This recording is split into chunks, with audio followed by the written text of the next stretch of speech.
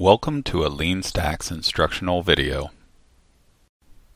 This video is part of the Spring Data Fundamentals series. In this video we build upon the Greeting Web Services project constructed in the Spring Boot Fundamentals series. We'll introduce a data object design pattern for reference data entities. Reference entities represent a set of permissible values for an attribute of another entity. The more reference data is utilized, the more value it has because it may be easily maintained within a data store rather than within the codebase itself. Reference entities share several common attributes.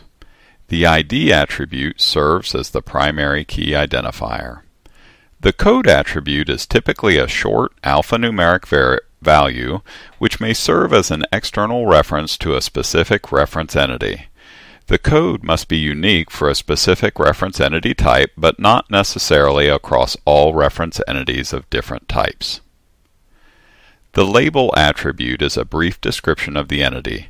It's often used for display and user interfaces because the code values tend to be a bit cryptic. The ordinal attribute may be used to sort the reference entities in any arbitrary manner. The effective at and expires at attributes define temporal boundaries for the validity of an individual reference entity. Often reference data is only valid for a certain window of time. For example, the price attribute of a reference entity named product changes periodically for sales. Or perhaps the value of a label is modified and the old row is expired where the, when the new row is made effective. The created at attribute indicates when the reference entity was initially persisted. Let's get started. I've opened the Spring Tool Suite and the Gre Greeting Web Services project. Navigate to the Source Main Resources Data HSQLDB directory and open the schema.sql file. Locate the Create Table statement for the role entity, or role table. Update the statement to include the additional columns for the reference entity that we just spoke about a moment ago.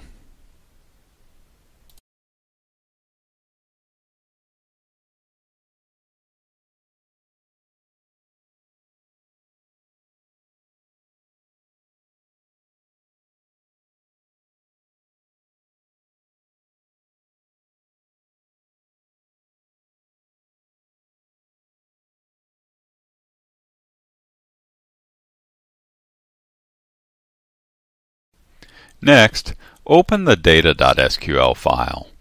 Modify the insert statements for the role table to include values for the new columns.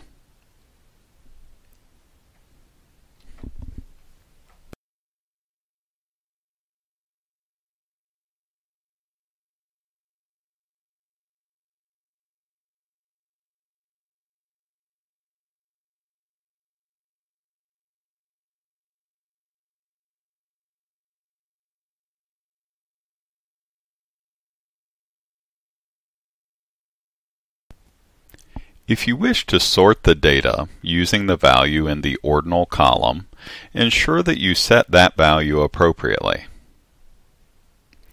Initialize the value of the effective at column to a meaningful date in the past. If you set the date in the future, the row will not be returned by the query. Use the now database function to generate the current timestamp for the created at column.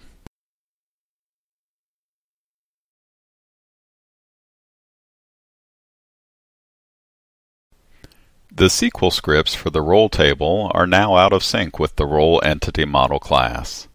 Let's create the reference entity class to serve as the superclass for all reference entity model classes. In the source main Java directory, navigate to the org example ws model package. Create a new class named reference entity which implements the serializable interface. Annotate the class with the JPA annotation mapped superclass. This instructs the JPA framework to map the attributes of this class directly to the table which backs the entity classes that inherit from this class. In other words, all of the attributes of the reference entity class will be directly mapped to the database tables of the classes which extend it. Declare the attributes for the ID, code, label, ordinal, effective at, expires at, and created at table columns.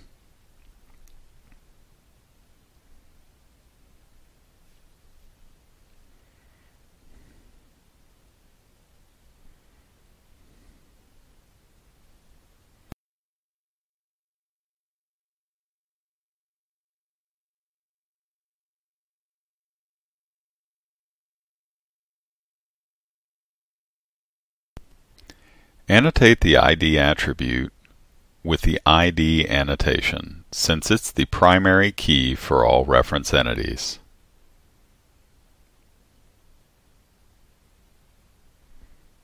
Annotate the code, label, ordinal, effective at, and created at attributes with not null. These attributes must always be populated to preserve data integrity.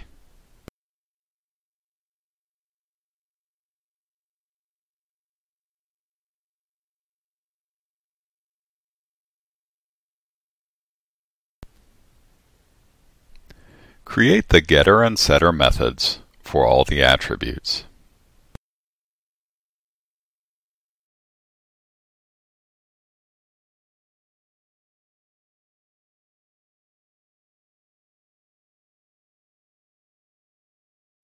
Next, let's update the role entity to extend reference entity.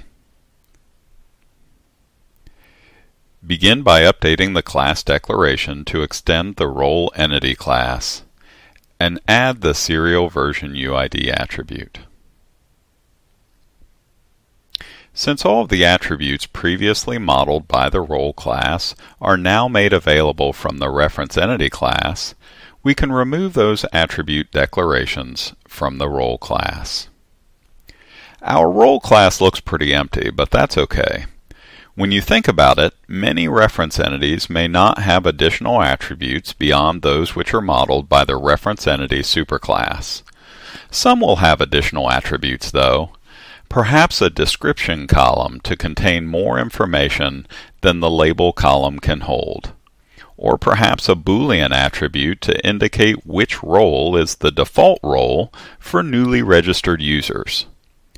The real power and value of the reference entity superclass is derived by having implemented a standard data design approach for all of your application's reference entity types. The improved maintainability of both your data and your application is your reward. The application does not currently have a Spring Data repository interface for the role entity. Let's create one and demonstrate a few of the more commonly used queries for reference data entities. In the org example WS repository package, create a new interface named role repository, which extends the JPA repository interface. The entity type is role, and the primary key type is long.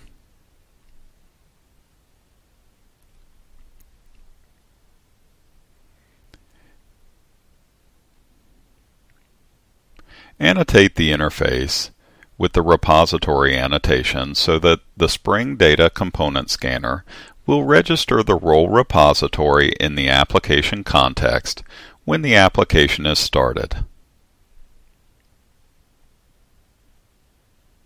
First, let's use the query method approach to declare two role queries. The first query searches the database for all role entities using the effective and expiration dates.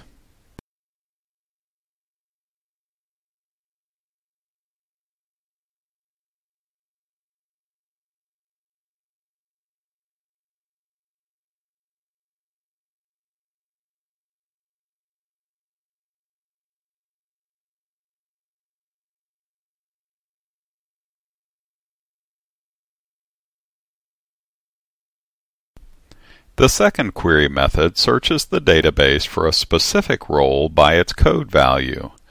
This query also limits the results by the effective and expiration dates. Generally speaking, I'm a big fan of the Spring Data JPA query method approach. When I construct applications, I use this approach as the programming standard, standard for query definition. However, when querying for reference entities, this approach is a bit cumbersome because it's not intuitive. This lowers the maintainability and readability of this application component. When querying for reference data, the current date or timestamp is supplied to the query as a value for both the effective and expiration dates, because we only want the result set to contain records where the current date is between those boundaries. Using the query method approach, we need to pass the current date as both the effective and expiration method parameters. It works correctly, it's simply not intuitive when reading the code. When a query becomes too complex to declare as a query method, one alternate approach is to annotate the repository interface method with Spring Data's query annotation. Let's use the query annotation approach to fetch these role entities. First, declare a new method to retrieve the collection of roles.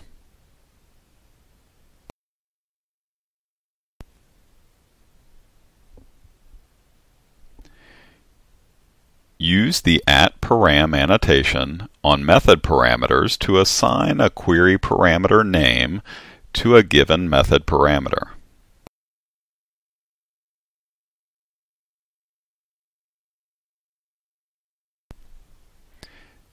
Next, let's annotate the method with the query annotation. The value of the query annotation is the SQL statement to execute against the database. Notice the query parameters are prefixed with a colon, and the name of the query parameter matches the name provided in the param annotation.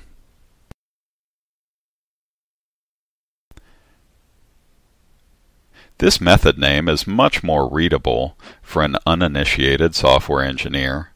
The method name indicates that we wish to query for all role entities which are effective at the supplied timestamp.